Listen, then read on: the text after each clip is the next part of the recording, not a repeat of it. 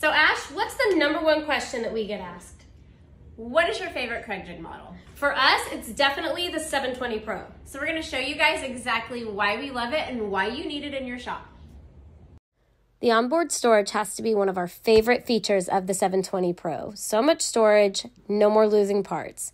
An attached clamp, and one of our favorite features is being able to easily switch out from different sizes of wood without stopping to adjust the entire jig. This is such a time saver, guys. You definitely want to check it out. And guys, this doesn't just drill holes into scraps. You can build an entire house with it. Check this out.